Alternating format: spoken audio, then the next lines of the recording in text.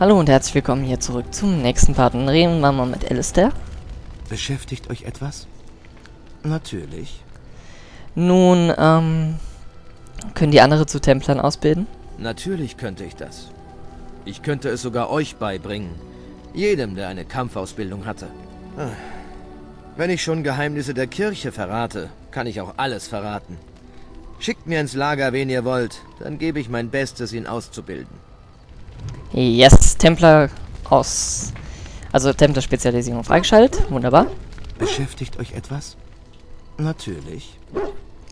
Nun, wenn ihr in der Kirche aufgewachsen seid, habt ihr da nie... Nie? Nie was? Ordentliche Schuhe gehabt? Naja, ähm... Ihr wisst, was ich meine. Da bin ich nicht ganz sicher. Nie einen Basilisken gesehen? Nie Fleisch in Aspik gegessen? Nie im Winter an einem Laternenmast geleckt? Jetzt macht ihr euch über mich lustig. Lustig über meinen Waffengefährten? Nichts läge mir ferner. So sagt mir, habt ihr je im Winter an einem Laternenmast geleckt? du Buffsäcke. Ähm...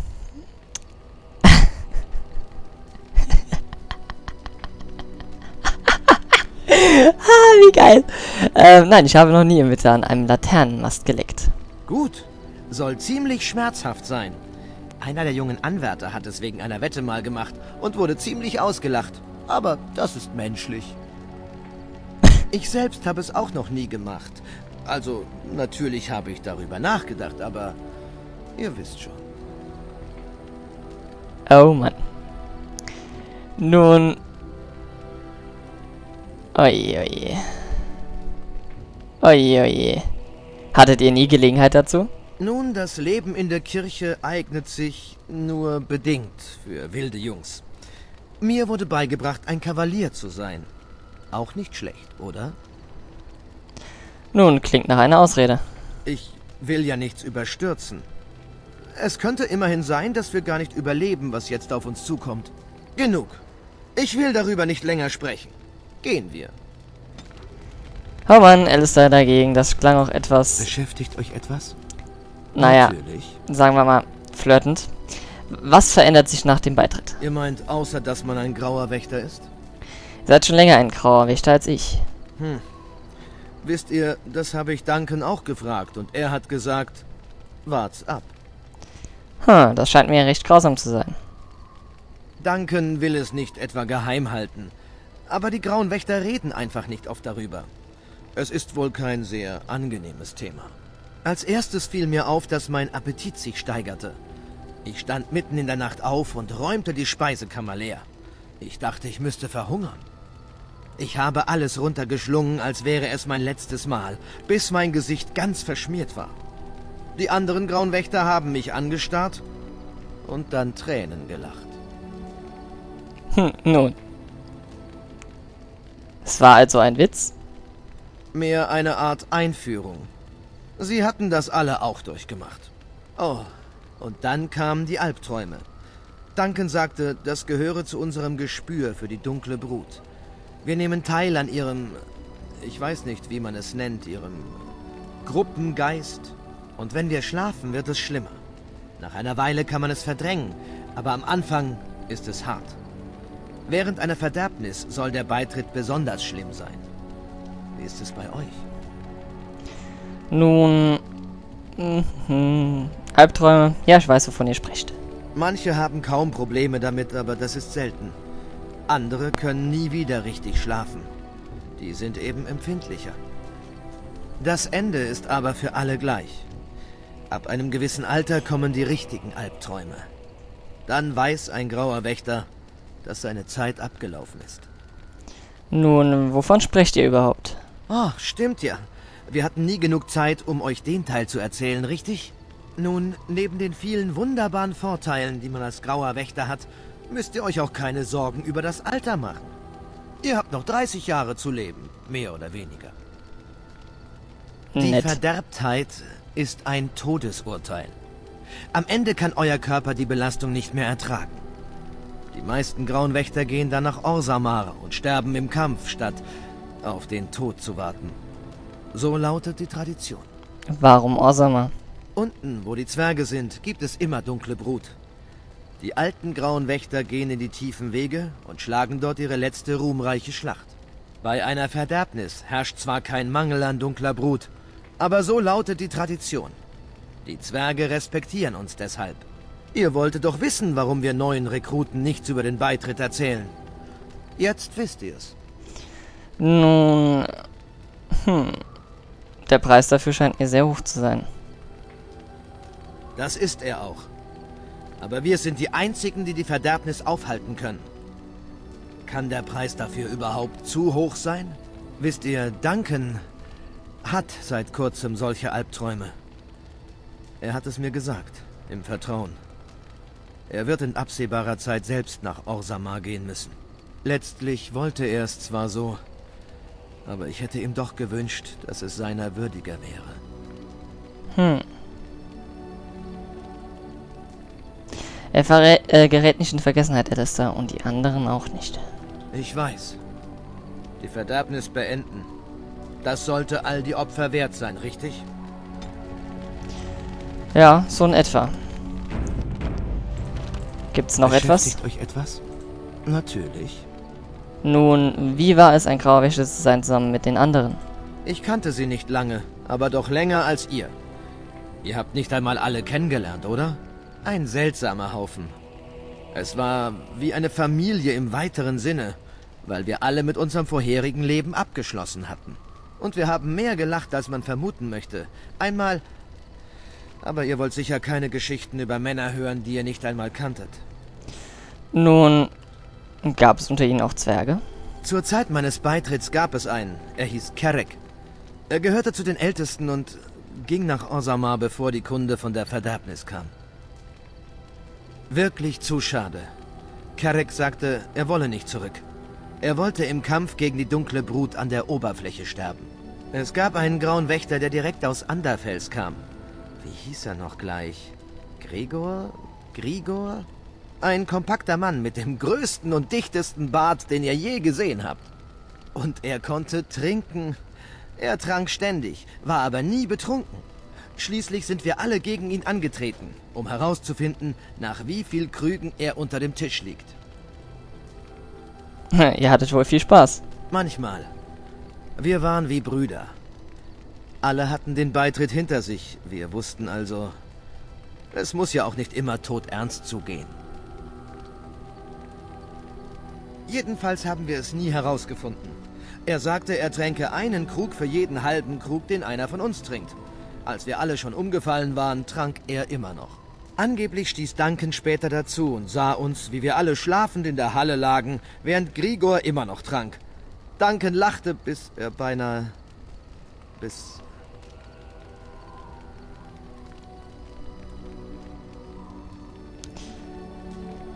Es tut mir leid, das ist sicher schwer für euch. Ja, das ist es wohl. Ich dachte, ich sei darüber hinweg, aber mir fiel gerade ein, dass ich kein Erinnerungsstück an Duncan habe. Gar nichts. Ich hätte gerne etwas von ihm gehabt, das ich bei mir tragen kann. Das klingt sicher ziemlich dumm für euch. Nun, ihr habt eure Erinnerungen an ihn. Ich hätte einfach nur gerne etwas von ihm gehabt, das ich bei mir tragen kann. Aber es bringt ja nichts darüber jetzt zu wehklagen. Er ist fort. Lasst uns gehen. So. Ich möchte etwas wissen. Und zwar eure Meinung über einige unserer Reisegefährten. Habt ihr etwas dagegen? Nun... Nur zu, das macht mir nichts aus. Was ist mit Stan? Wie er mich ansieht mit diesen Augen. Unheimlich. Und er ist so still dafür, dass er so groß ist. Nun, es gibt keinen Grund, Angst vor Stan zu haben. Ich weiß. Je mehr ich mit ihm spreche, desto weniger erscheint mir seine Philosophie so schrecklich, wie die Kirche behauptet. Schon seltsam. Und dennoch hat er all die Leute getötet. Er leugnet es nicht einmal. Beunruhigt euch das nicht? Nun, er scheint seine Taten zu bedauern. Ich glaube, bedauern heißt bei ihm etwas anderes als bei uns. Der Ehrbegriff der Kunari ist nur schwer fassbar. Für mich zumindest. Was ist mit Liliana? Ist sie verrückt? Oder glaubt ihr wirklich an ihre Vision? Nun... Wer, es könnte wahr sein. Wer sollte darüber befinden? Vielleicht habt ihr recht. Sie konnte ja nicht wissen, dass wir dringend Hilfe benötigten. Und dennoch war sie plötzlich da. Mir ist aufgefallen, dass ihr und sie einander näher gekommen seid. Habe ich recht? Die anderen reden auch schon darüber. Nun, nein, ihr irrt euch. Oh, ihr lügt. Aber bitte, ich weiß nicht, was ich von ihr halten soll. Wenn man sie betrachtet, während sie sich unbeobachtet fühlt, wirkt sie so traurig. Ich fühle mich fast schuldig, sie ihrem Leben entrissen zu haben. Nun, es war ihre Entscheidung. Ja, ich weiß. Dennoch habe ich Mitleid mit ihr. Morrigan. Vertraut ihr ihr? Bedenkt doch, vielleicht hat Flemeth sie uns aus einem anderen Grund mitgeschickt als dem, den sie uns gesagt hat. Nun, ihr mögt einander wirklich nicht, stimmt's? Abgesehen davon, dass sie durch und durch ein Miststück ist, nein. Ich mag sie überhaupt nicht. Warum? Ihr? Nun, sie und ich haben eine Beziehung. Na toll. Sie hatten also recht. Naja, es ist euer Begräbnis. Genug davon. Meine Neugier ist gestillt. Gehen wir zurück an die Arbeit, ja? So, wir waren äh, ehrlich zu ihm und haben den Plot die nächsten große Konstitution bekommen. So, dann Beschäftigt euch etwas? noch eine Runde. Natürlich. Gibt's noch was? Nein, gibt nix. Alles klar. Dann hauen wir noch schnell Liliana eine Runde an. Ich mag die Nächte im Lager. Ich empfinde die Nacht immer als weitaus friedvoller und sicherer. Nun, seit was dann? Dann müssten wir relativ sicher sein. Die Nacht gönnt uns Abstand von der Unbill des Tages. Albern, nicht wahr? Wo doch die dunkle Brut nie schläft und in den Schatten lauert. Ähm, hin und wieder haben wir alle das Recht auf ein wenig Albernheit. Ich genieße die Nächte, in denen wir gemeinsam Wache halten und uns zum Zeitvertreib unterhalten. Also, meist rede ich und ihr hört zu. Manchmal werde ich müde und nicke ein. Und wenn ich aufwache, seid ihr da und habt die ganze Zeit auf mich aufgepasst. Oh Mann. Ich wäre ein schlechter Anführer, wenn einer von euch während meiner Wache getötet wird. Ich will damit nur sagen, dass ich euch vertraue. Ich fühle mich in eurer Gegenwart wohl. Ich weiß, ihr werdet da sein, wenn ich euch brauche. Ihr seid unser Anführer und wir sind befreundet und manchmal denke ich, wir könnten mehr sein als das. Oh, Erbauer, sieh nur, wie ich über meine Worte stolpere, wie ein dummes Bauernmädchen. Ich bin schon eine tolle Bardin. Nun, das ist jetzt ein Problem. Ähm. Wir sind mehr als Freunde. Ich dachte, das wäre offensichtlich. Hm, schlecht. Ihr seid süß, wenn ihr verlegen seid. Auch schlecht. Ja, seht euch vor, bevor es noch peinlicher wird. Schlecht. Wechselt nicht das Thema. Ja, nehmt mal das. Also, mehr kann ich nicht sagen.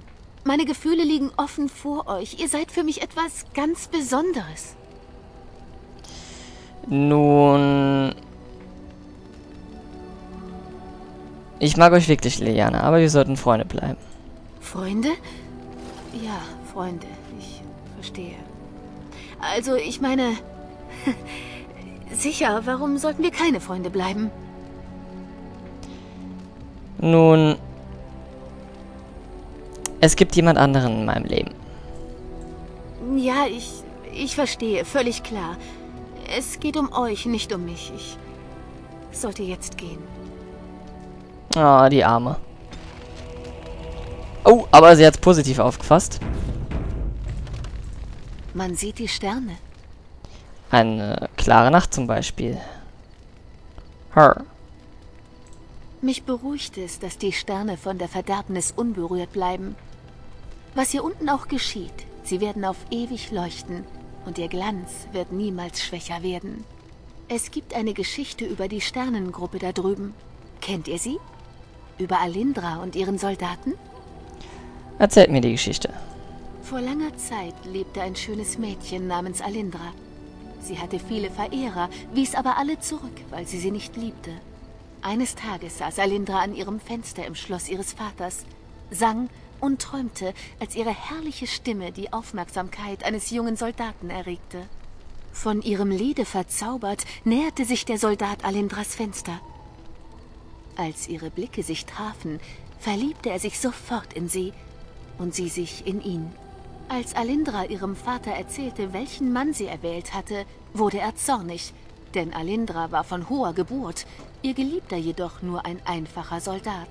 Um sie zu trennen, sperrte er Alindra in den höchsten Turm seines Schlosses und schickte ihren Soldaten in den Krieg. Nach weniger als einem Monat erreichte Alindra die Nachricht, dass der Soldat gefallen war. Alindra, ganz allein in ihrem Turm, weinte um den Geliebten und flehte die Götter an, sie aus dieser grausamen Welt zu erlösen. Ihr Flehen war so inbrünstig, dass es die Götter bewegte. Sie umfingen Alindra mit ihren Armen und brachten sie hinauf in den Himmel, wo sie zum Stern wurde. Die Götter erhoben auch die Seele von Alindras Geliebten in den Himmel, und dort ruht er nun, neben ihr. Die Sterne zwischen ihnen sind der Fluss aus Alindras Tränen, die sie um ihre verlorene Liebe weinte. Man sagt, wenn Alindra genug geweint hat, kann sie den Fluss überqueren und ist dann wieder mit ihrem Soldaten vereint. Wow, das ist eine schöne Geschichte. Es ist eine meiner Lieblingsgeschichten, weil sie von einer Liebe erzählt, die so groß ist, dass sie den Tod überdauert und sogar die Götter rührt. Manchmal frage ich mich, ob es so eine Liebe gibt, überhaupt geben kann. Nun. Hm. Wenn wir die Hoffnung an die Liebe verlieren, sind wir wirklich verloren. Ich hätte nie erwartet, dass ihr so etwas sagt. Es ist eine angenehme Überraschung. Warum ist es eine Überraschung? Ihr habt eine gewisse Strenge an euch. Es ist schön, dahinter Gefühle zu spüren. Vielleicht solltet ihr eure sanftere Seite öfter zeigen. Wenn man dem Herz folgt statt dem Verstand, gelangt man bisweilen an erstaunliche Orte. Interessant. Ihr seid also immer noch mit Morrigan zusammen. Sagtet ihr nicht, sie würde euch nichts bedeuten? Hä? Was soll das überhaupt? Ihr sagt mir, ihr mögt mich, dass ich euch etwas bedeute, und dann nehmt ihr sie an eure Seite. Das ist Morrigan und mir gegenüber nicht fair. Habt ihr zu ihr das gleiche gesagt wie zu mir? Ich bin jetzt total verwirrt. Ich bin jetzt total verwirrt. Hab, wir haben ihr nie irgendwas gesagt. Ah, verfluchte Axt. Äh, was nehme ich denn jetzt? Komm ich aus dem Schlamassel wieder raus? Ich nehme das letzte. Erweist mir nur ein wenig Respekt. Erweist uns ein wenig Respekt, bitte. Äh, ich, ihr seid beide wunderbar und ich respektiere euch beide. Auch wunderbare Leute haben ihre Grenzen. Mir liegt etwas an euch, mehr als ich sagen kann, aber ich ertrage es nicht, euch ständig zu ihr gehen zu sehen. Das ist bitter. Äh. Ich bin verwirrt.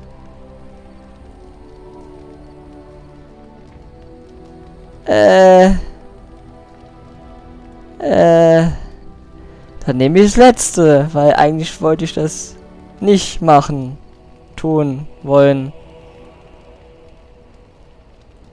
Dann nehme ich das.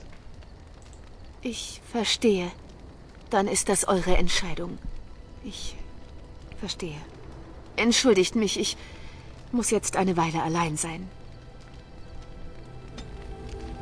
Totally äh, verwirrend. Kann ich euch irgendwie helfen? Ja? Weil eigentlich wollte ich von ihr ja jetzt irgendwelche Geschichten hören und nicht... Also jetzt muss ich noch mal kurz mit Morrigan reden. Jetzt bin ich verwirrt. Ich habe nie irgendwas gesagt, dass... Also, hä? Wie kam das Spiel jetzt da drauf? Wir lagern. Es kann also gerne auch... Hm. Gut. Da gibt's nichts Neues an der Front. Dann ist das mal geklärt. Wir haben auch Morgans Ring bekommen, mit dem wir immer gefunden werden können. Da haben wir unseren Hund. Vielleicht gibt's da noch ein paar schöne Dialoge. Anscheinend nicht, oder? Nee, schade. Eine Runde streicheln und dann sehen wir uns wieder im nächsten Part. Bis dann, Leute.